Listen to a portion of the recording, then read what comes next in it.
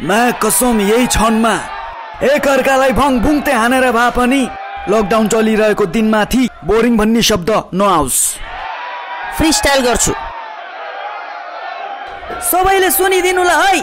पाँच वर्षको ठिटो थियो हो चिस वर्ष पुग्नु आँट्यो। मागेर खाने बानी यसको यसैले हो कि क्या हो मेरो बिस्कुट सबै चोरी खाएको? छाला होइन मासु भरि मै खाम अरूले के खान्छ कुन्नी? त छाला खाएस नत्र भने आन्द्राको भुटुनी।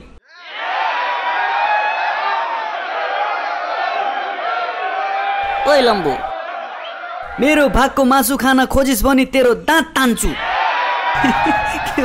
बुझिस? मासु नभए पनि कुखुराको हाड खान्छु। मासु खाइदिस् भने हाड खान्छु छाड खान्छु लुवाको सानो सानो तार खान्छु। मासु नपाए नि के भयो र? निस्तै पानीसँग भात खान्छु।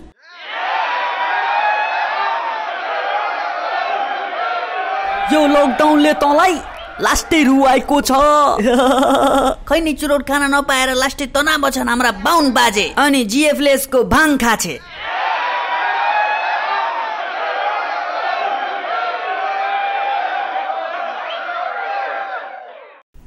सुर्ती र खैनीको कर्जा भनिस् कर्जा। तमाखुको खेती गर्ने म धरान चितवन विराटनगरमा सुर्तीको बिजनेस गर्दै म यहाँको। अनि तैँले भन्छस् मेरो जिएफले भाङ खाएको।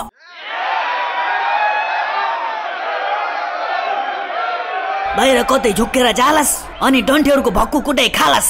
गुहार गुहार भन्लास् तर ताँलाई बचाउन कोही पनि आउँदैन। किनकि लकडाउन छ।